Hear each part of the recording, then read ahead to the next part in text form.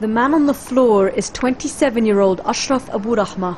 He was cuffed, blindfolded and beaten for 30 minutes by Israeli soldiers after being arrested for taking part in a peaceful protest against the separation wall last year. The whole incident was caught on camera by a Palestinian girl filming from her window. But that's not the worst part. Watch it again and you clearly see the soldier firing a rubber-coated steel bullet at Ashraf's legs at close range, hitting his left toe.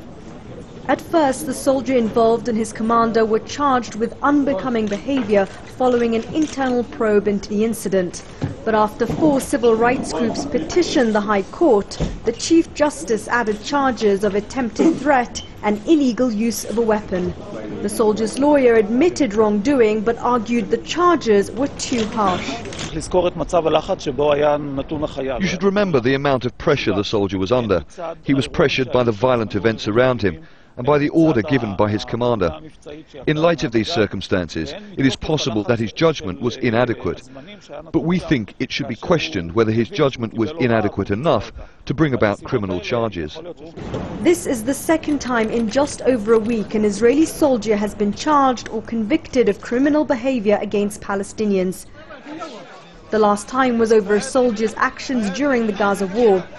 And in both cases it was human rights groups that intervened, forcing the military to take further action against its own. Complaints of police brutality of Palestinian detainees are rife. The incident with Ashraf happened to be caught on camera, but rights groups question how many others go unnoticed and unchecked by an army which claims to be one of the most moral in the world. Sherine Tadros, Al Jazeera, Jerusalem.